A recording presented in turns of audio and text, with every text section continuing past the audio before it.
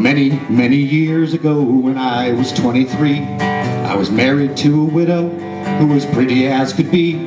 This widow had a grown-up daughter who had hair of red. My father fell in love with her and soon they two were wed.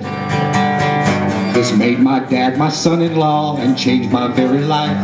My daughter was my mother for she was my father's wife. To complicate the matter, even though it brought me joy, I soon became the father of a bouncing baby boy.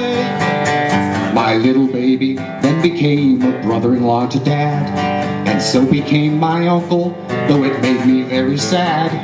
For if he were my uncle, then that also made him brother to the widow's grown-up daughter, who of course was my stepmother.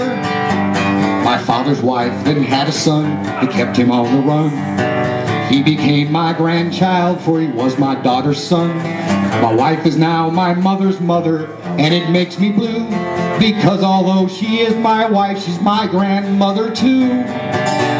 Now if my wife is my grandmother, then I'm her grandchild.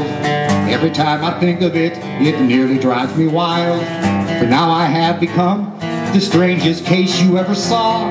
As husband of my grandmother, I am my own grandpa. I'm my own grandpa. I made it. I'm my own grandpa. It sounds funny, I know, but it really is so. I'm my own grandpa.